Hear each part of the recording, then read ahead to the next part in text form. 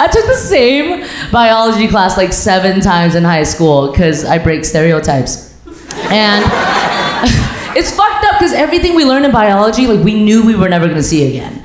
Sometimes at Starbucks, when they ask me for my name, I say mitochondria just to use it, just to say I used it. Of course, they always misspell it and mispronounce it. We have a vanilla bean frappuccino for Marie Kondo. Just, I'll take it. I'll take it.